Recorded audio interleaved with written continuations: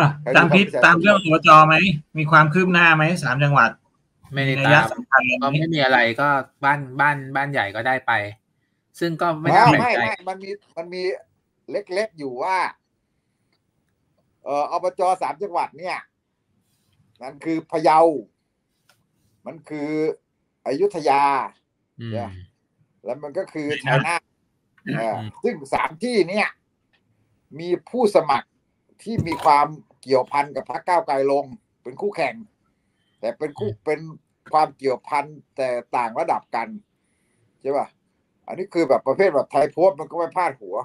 ก้าวไกลแพ้อะไรเงี้ยถึงแม้ว่าในเนื้อในเนื้อใช่ไงหาก็เขาใช่ก็ไงแต่ว่า ประเด็นคือบ้านใหญ่ก็ยังชนะในพื้นที่อยู่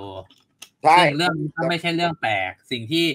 ผมยังไม่เห็นงานวิชาการที่มันอธิบายได้จริง ๆ เนี่ยก็คือว่าอย่างการเลือกตั้งครั้งที่แล้วเนี่ยอย่างผมทำกรุงเทพมันง่ายไง ไอ้ทำจังหวัดแบบบุรีรัมย์ทำจังหวัดสุพรรณบุรีอย่างเงี้ย ที่แบบอ่าปาร์ตี้ลิสต์แม่งไปทางหนึ่งเขตแม่งไปอีกทางหนึ่งเงี้ยทำอธิบายอธิบาย voter ได้ไงมัน voter คนเดียวกันสองใบแม่งกาต่างกันได้ไม่อะไม่ไม่เดี๋ยวเอาประเด็นนี้ก่อนประเด็นก็คือว่ามันพักมันไม่ได้ส่งพักไม่ได้ส่งทางการใช่ไหมอืมแต่รู้ว่าคนเหล่านี้พักไม่ได้ส่ง คือที่พะเยาเนี่ย ผมไม่แน่ใจว่า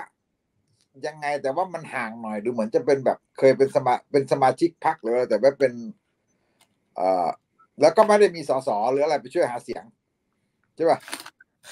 พะเยานี่คือมันก็คนก็รู้อยู่แล้วธรรมนัฐก็ชมีนะการกล่าวมองว่าคนธรเนี่ยรมนัฐแกก็ชนะล้นก้าวหลาไกลมแม่งไม่ยอมลงไปหาเสียงในสามพื้นที่นี้ เออ ก็ที่บกรายจุดเคยถามไง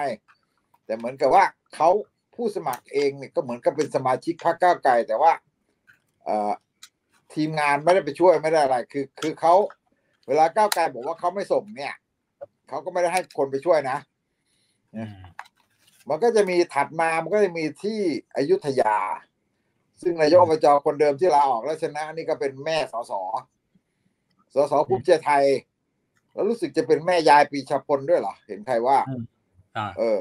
แล้วก็คือผูกพันทั้งสองพักเลยแต่ว่าภูมิใจไทยเป็นหลัก เอ่อ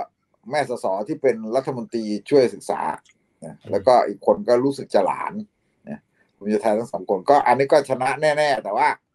ไอไอคนที่ลงแข่งอะ มันเป็นเหมือนกับว่า มีคนบอกว่าสสก้าวไกลไปสไปสนับสนุน แต่ว่าพอพอมันมีข่าวมาว่าสสก้าวไกลไปสนับสนุนทางพรรคมันก็เหมือนกับรีบเอ่อสั่งเบรกอะ แล้วก็มีสสอีกคนก็ออกมายืนยันว่า เราไม่ได้สนับสนุน เขาก็สั่งเบรกใช่ป่ะ